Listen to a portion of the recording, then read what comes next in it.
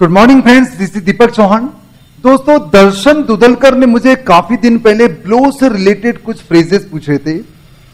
Blow से related कम से कम चार फ्रेजेस हैं, जो बहुत ही इंपॉर्टेंट है। मोस्टली स्पीकिंग करते समय या न्यूज़पेपर में ऐसे फ्रेजेस हमें मिल जाते हैं। और हमें समझ नहीं आता है कि इसका इस्तेमाल कैसे करना है। तो आज हम लोग समझते हैं कि उस फ्रेजेस का हम लोग इस्तेमाल कैसे करेंगे, उसका मीनिंग और उसका सेंटेंस मेकिंग ये सारी बातें दोस्त मैं आपको समझाने वाला हूँ।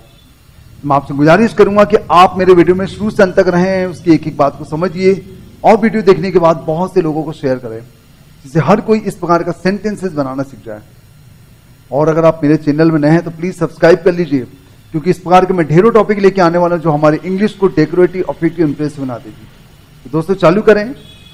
वो फ्रेज है blow over blow away blow off and blow apart ये चार फ्रेजेस हैं दोस्तों, जो ब्लो से रिलेटेड है। ये सभी वर्ब है। तो हम लोग देखते हैं, इसको एक एक को समझते हैं। पहला है ब्लो ओवर जिसका मतलब होता है बिकम ग्रेजुअली लेस इंपॉर्टेंट जो धीरे धीरे लेस इंपॉर्टेंट हो जाता है कम महत्व का हो जाता है धीरे धीरे शांत पड़ जाता है, धीमा पड़ जाता है। एंड्स अप और फॉरगटन शांत हो जाता है, समाप्त हो जाता है और उसको भुला दिया जाता है। थमना या शांत होना, इस सेंस में आ रहा है। अब देखते हैं इसका पहला सेंटेंस देखते हैं। I was sure that their argument would blow over after some time I was sure that their argument would blow over after some time मुझे पूरा भरोसा था कि उनका उनका विवाद कुछ समय बाद शांत पड़ जाएगा। मुझे पूरा भरोसा था कि उनका आर्गुमेंट उनकी जो बहस थी, वो कुछ समय बाद ठंडी पड़ जाएगी, शांत पड़ जाएगी, थम जाएगी। लेकिन नहीं, उनका विवाद तो और बढ़ता गया, उनका जो, उनकी जो बहस थी वो और बढ़ती गई। ऐसा नहीं हुआ। बट आई वॉज़ श्योर या तो यहाँ पर आ रहा है, ब्लो ओवर यानी थमना या शांत हो जाना, इस सेंस में आ रहा है। Next the tension between mom and papa will blow over very soon the tension between mom and papa will blow over very soon mummy और पापा के बीच का जो तनाव है, बहुत जल्द दूर हो जाएगा। बहुत जल्द शांत हो जाएगा, थम जाएगा। मुझे ऐसा उम्मीद है कि ये धीरे धीरे शांत हो जाएगा, थम जाएगा, रुक जाएगा। इस सेंस में आ रहा है। द विंड अब यहाँ देखिए थोड़ा नए अर्थ में आ रहा है। The wind blew over the old tree the wind blew over uh the old tree एक पुराने पेड़ को हवा ने उखाड़ फेंका। एक पुराने पेड़ को हवा ने उखाड़ उखाड़ फेंका। अपरूटेड कर दिया। Next the tin shed was blown over in bad storm the tin shed was blown over in bad storm एक बुरे तूफ़ान में, एक भयंकर तूफ़ान में जो टीन का जो शेड लगा हुआ था ऊपर, वह उड़ गया। तहस नहस हो गया, बर्बाद हो गया। एक खतरनाक तूफ़ान में जो टीन शेड था, वह तहस नहस हो गया था, या क्या हो गया था? तहस नहस हो गया था या उड़ गया था? इस सेंस में आएगा। ये दो अर्थ हम लोग ने देखे दोस्तों। एक थम जाना, एक तहस नहस हो जाना, बर्बाद हो जाना। सेकंड आते हम लोग ब्लो अवे अब ब्लो अवे का मतलब क्या होता? है रिमूव इम्प्रेस्ड या एक्साइटेड इतने सेंस में आएगा? किल बाय शूटिंग, ये भी एक अर्थ होता है दोस्तों, किल बाय शूटिंग, जिसको हम लोग कहेंगे हटाना, उड़ा देना या प्रभावित होना। हटाना, उड़ा देना या प्रभावित होना। अब इसके सेंटेंसेस से हमें क्लियर होगा कि हम लोग इसको कैसे यूज़ करेंगे। देखते हैं। तो पहला सेंटेंस है she switched on the fan to blow the smoke away she switched on the fan to blow the smoke away उसने फ़ैन चालू किया, पंखा चालू किया, जिससे जो धुआँ है, वो बाहर चला जाए। धुएँ को बाहर करने के लिए उसने फ़ैन को ऑन किया। रिमू के सेंस में आ रहा है। धुएँ को हटाने के लिए, दूर करने के लिए उसने फ़ैन को ऑन किया, पंखे को चालू किया।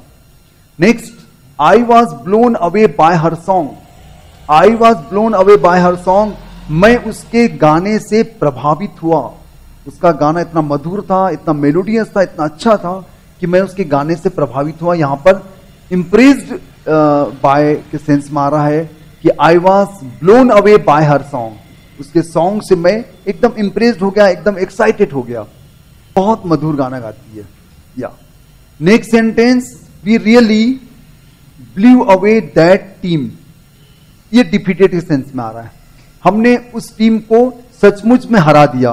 दोस्तों, ये तीन नंबर होगा। हमने उस टीम को सचमुच में हरा दिया। We really blew away that team defeated के सेंस में आ रहा है। तो ब्लो अवे का मतलब डिफीट भी होता है, किसी को हराना। Your way of talking your way of talking blows me away आपके बोलने का तरीका मुझे प्रभावित करता है, या प्रभावित करने के सेंस में आ रहा है। Your way of talking blows me away मुझे बहुत प्रभावित करता है आपके बोलने का जो तरीका है। आपके चलने का तरीका, आपका बात करने का तरीका, आपके प्रेजेंटेशन का जो तरीका है, ये मुझे प्रभावित करता है। It blows me away next sentence दोस्तों अब ये तो हमारा फिनिश हो चुका है, अब हम लोग आ जाते हैं blow off O double F blow off का मतलब होता है इग्नोर रिमूव डिस्ट्रॉय इतने सेंस में आ रहा है और समझते हैं इसका सेंटेंस मेकिंग क्या होगा। और देखते हैं पहला sentence I wanted to meet her मैं उससे मिलना चाहता था। I wanted to meet her but she blew me off पर उसने मेरा, मेरी उपेक्षा की। उसने मुझे इग्नोर किया। I wanted to meet her but she blew me off पर उसने मेरी उपेक्षा की। इस सेंस में आ रहा है दोस्तों। इग्नोर्ड के सेंस में आ रहा है यहाँ पर। Number two I blew off my class and went to hang out I blew off my class and went to hang out मैंने अपनी क्लास छोड़ दी और घूमने चला गया। यहाँ पर छोड़ने के सेंस में आ रहा है। या इग्नोर कर दी, मैंने अपनी क्लास को इग्नोर कर दी और मैं घूमने चला गया तो I blew off my class and went to hang out घूमने चला गया। Next the roof blew off in storm the roof blew off in the storm यहाँ पर उड़ने के सेंस में आ रहा है। डिस्ट्रॉय होने के सेंस में आ रहा है कि तूफ़ान ने छत को उड़ा दिया या तूफ़ान ने छत को बर्बाद कर दिया के सेंस में आ रहा है। यस यहाँ पर बर्बाद करने के सेंस में आया। अब देखते हैं आगे ब्लो अपार्ट ब्लो अपार्ट का मतलब होता है डिस्ट्रॉय और एक्सप्लोड तो बहुत जगह पर डिस्ट्रॉय और एक्सप्लोड तो blow off blow away blow apart में तो आ ही रहा, आ ही रहा है। यहाँ पर देखते हैं क्या मतलब हो रहा है कि the plane was blown apart by terrorist the plane was blown apart by terrorist आतंकवादियों के द्वारा प्लेन को उड़ा दिया गया। आतंकवादी के द्वारा प्लेन को, प्लेन में धमाका किया गया, उसको उड़ा दिया गया, इसको एक्सप्लोड किया गया। धमाकों से उसे उड़ा दिया गया। यह सेंस में आ सकता है।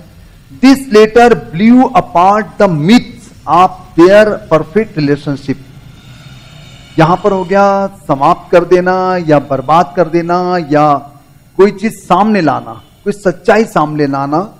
ये अर्थ में आएगा कि this letter blew apart the myth इस पत्र ने अवधारणा को हटा दिया, इस पत्र ने अवधारणा को समाप्त कर दिया। ऑफ़ देयर परफेक्ट रिलेशनशिप की उनके बीच में बहुत अच्छे रिश्ते हैं।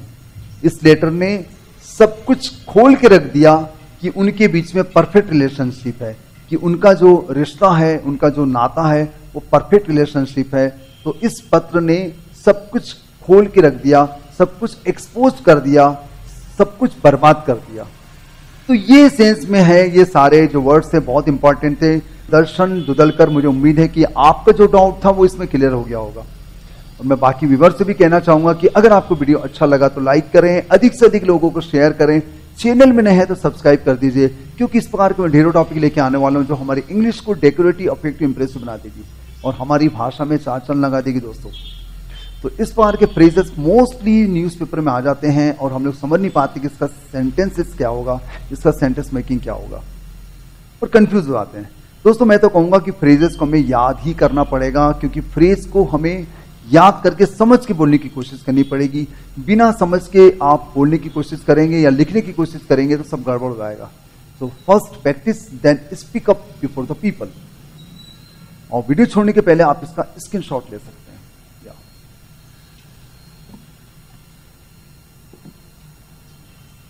थैंक यू वेरी मच मेरे वीडियो में आखिर तक बने रहने के लिए और अगर आपको वीडियो अच्छा लगा तो लाइक करें, अधिक से अधिक लोगों को शेयर करें। चैनल में नहीं है तो सब्सक्राइब कर दीजिए।